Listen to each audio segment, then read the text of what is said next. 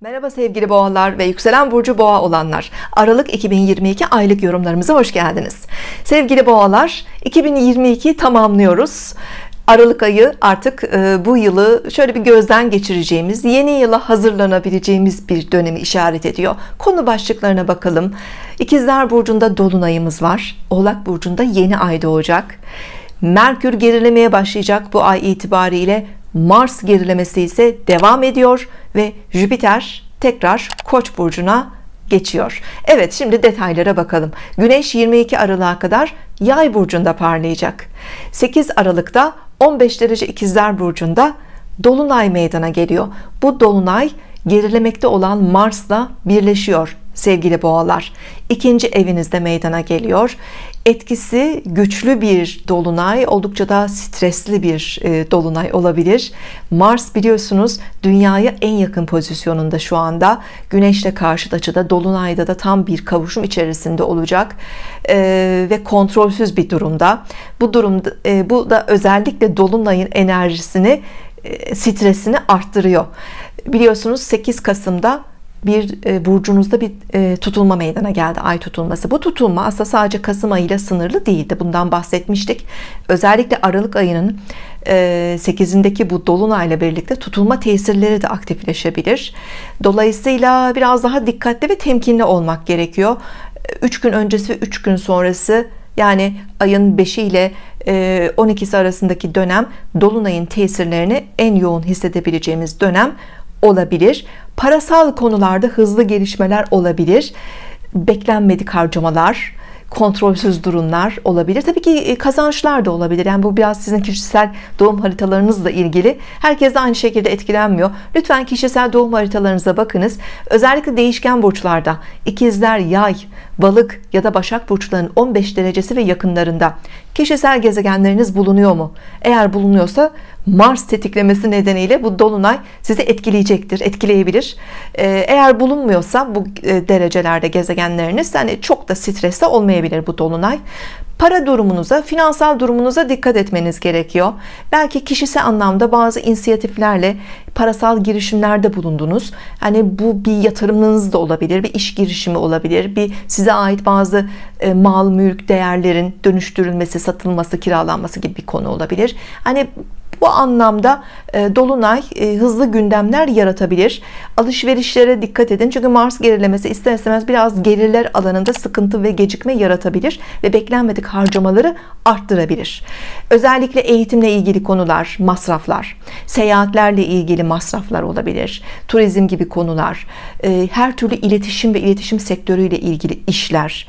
Buralarda bu Mars gerilemesi bazı gecikmeler yaratabileceği gibi bu işlerle ilgili alanlarda beklediğiniz bazı gelirlerin hani şu anda da elinize geçmesini sağlayabilir. Özellikle Kasım ayında oluşmuş olan gündemler varsa bunların sonuçları da bu dönemde bu dolunayla beraber karşınıza çıkabilir. E, fiziksel görünümünüz imajınızla ilgili bazı yenilikler de yapmak isteyebilirsiniz örneğin. Bunlarla ilgili bazı tedaviler işte şifa çalışmaları belki estetikle ilgili operasyon ve benzeri konularınız da gündemde olabilir. Tabii ki bunun da finansal anlamda bazı e, giderleri söz konusu olabilir. E, sağlık konularına özenli yaklaşın. E, sağlıkla ilgili ihmalkar olmamanız gereken bir dönem biliyorsunuz burcunuzda bir ay tutulması yaşadık ve halen daha bu etkiler devam ediyor sevgili boğalar. Ve şans gezegenimiz Jüpiter 20 Aralık'ta artık balık burcundaki e, hareketini tamamlayacak ve tekrar koç burcuna geçiyor. 16 Mayıs'a kadar da retro yapmadan hızlı bir şekilde Koç burcunda ilerleyecek 12. evinize geliyor Jüpiter Jüpiter bu alanda iyice bir etkidir ama 12. ev daha çok maneviyat anlamında sizi derinleştirebilir iyileşmeler ruhsal bedensel şifa arınma terapi gibi alanlarda hayatınızı biraz daha iyileştirebilir şifa getirebilir size e, yurt dışı ile ilgili e, bunlar seyahatler olabilir hani her türlü yurt dışı ve uluslararası alan ve e, bunlarla ilişkili konuları hayatınızda biraz daha fazla taşıyabilir. 12. Ee, ev e, koruma alanıdır. Yani çok da görmediğiniz aslında geri planda olan ama manevi anlamda size rehberlik edebilecek bazı kişileri ya da bazı manevi e, açılımları bu dönemde hayatınıza taşıyabilir. Ve unutmayın 16 Mayıs'tan itibaren Jüpiter sizin için e, burcunuza geleceği için çok özel bir dönemi başlatacak. 16 Mayıs'a kadar hazırlık ve şifa dönemindesiniz. 16 Mayıs'tan sonra burcunuzdaki Jüpiter dış dünyadaki açılımları büyüme imkanlarını daha fazla size sunabilir. 22 Aralık'ta Güneş Oğlak Burcu'na geçiyor ve 23 Aralık'ta 1 derece Oğlak Burcu'nda yeni ay doğacak.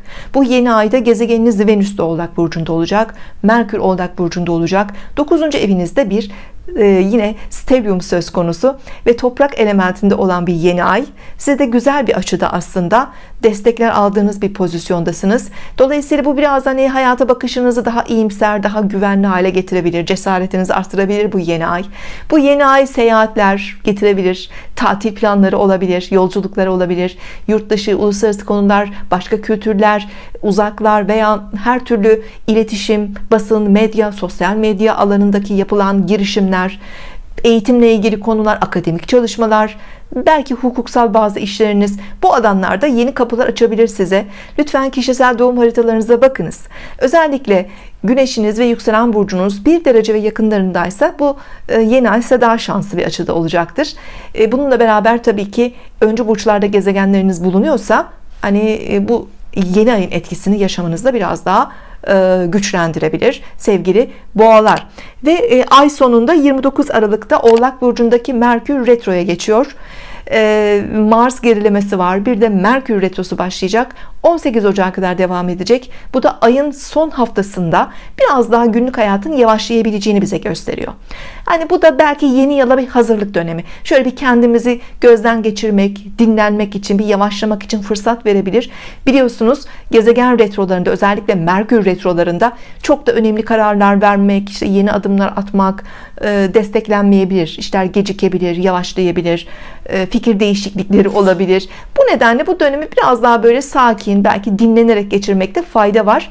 Ocak ortalarından itibaren Mars da düzelecek Merkür de düzelecek. Bu günlük hayatımızı hızlandıracak belki de düşüncelerimizi planlarımızı daha rahat hayata geçirmeye başlayacağız.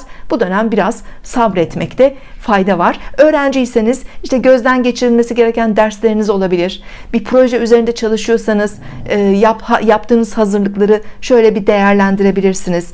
E, daha önceden yaptığınız e, işleri ya da şöyle bir tekrar hani sonuçlarını değerlendirebilir bir muhasebe yapabilirsiniz.